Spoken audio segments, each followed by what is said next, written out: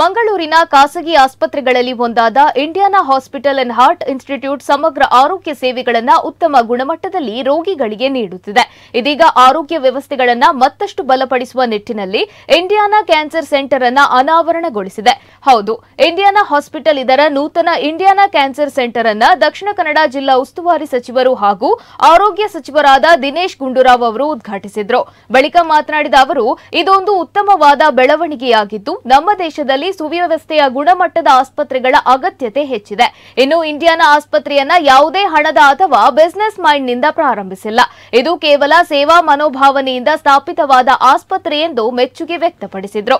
ಇದೇ ವೇಳೆ ಇಂಡಿಯಾನ ಆಸ್ಪತ್ರೆಯ ವ್ಯವಸ್ಥಾಪಕ ನಿರ್ದೇಶಕರಾದ ಡಾಕ್ಟರ್ ಯೂಸುಫ್ ಕುಂಬಳೆ ಅವರು ಮಾತನಾಡಿ, ಇತ್ತೀಚಿನ ದಿನಗಳಲ್ಲಿ ಆಧುನಿಕ ತಂತ್ರಜ್ಞಾನವನ್ನ ಬಳಸಿಕೊಳ್ಳುವ ಮೂಲಕ ಕ್ಯಾನ್ಸರ್ ಚಿಕಿತ್ಸೆಯಲ್ಲಿ ಗಮನಾರ್ಹ ಪ್ರಗತಿಯಾಗಿದೆ. ಈ ನಿಟ್ಟಿನಲ್ಲಿ ಆಧುನಿಕ ತಂತ್ರಜ್ಞಾನದ ಮೂಲಕ ದೇಹದ ಯಾವುದೇ ಭಾಗಕ್ಕೆ ಕ್ಯಾನ್ಸರ್ ತಗುಲಿದ್ರೂ ಅದಕ್ಕೆ ವಿಶಿಷ್ಟ ಹಾಗೂ ಪರಿಣಾಮಕಾರಿ ಚಿಕಿತ್ಸಾ ವ್ಯವಸ್ಥೆಯು ಇಂಡಿಯಾನಾ ಕ್ಯಾನ್ಸರ್ ಸೆಂಟರ್ನಲ್ಲಿ ಲಭ್ಯವಿರಲಿದೆ ಎಂದು ಹೇಳಿದ್ದಾರೆ. ಇನ್ನು ಈ ಕಾರ್ಯಕ್ರಮದಲ್ಲಿ ದಕ್ಷಿಣ ಕನ್ನಡ ಜಿಲ್ಲಾ ಆರೋಗ್ಯಾಧಿಕಾರಿ ಡಾಕ್ಟರ್ ಎಚ್ ತಿಮ್ಮಯ್ಯ, ಇಂಡಿಯಾನಾ ಆಸ್ಪತ್ರೆಯ chairman doctor Ali Kumble, professor Iftikhar Farid ಸೇರಿದಂತೆ ಹಲವು ಗಣ್ಯರು ಭಾಗಿಯಾಗಿದ್ದರು.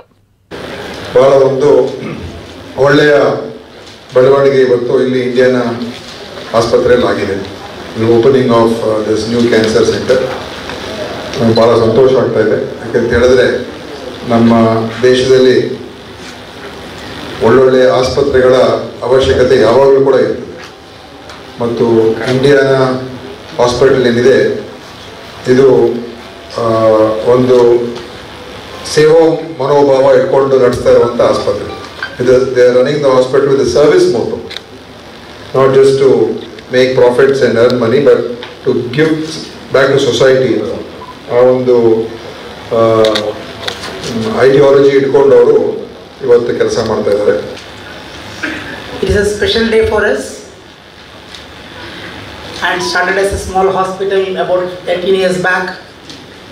I was a cardiologist who started directly come from All India Institute to Bangalore and I was working as a consultant for two, three years. Then I had difficulties in managing heart patients because that was the time the stent was introduced to the world 2002 the first study in the world was done. One stent was costing 3 lakh rupees.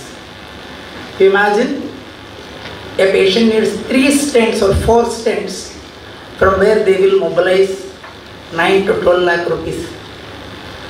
And unfortunately doctors were not in a position to uh, tell the patients that okay uh, uh, you need four stents otherwise you are going to die. That was a very one of the cruel uh, situation we were facing at that time. And that time i thought we will we should have some different solution alternative solution for this. Uh, fortunately that time Karnataka government started the Yashaswini uh, program that was a very useful program for the uh, common man of uh,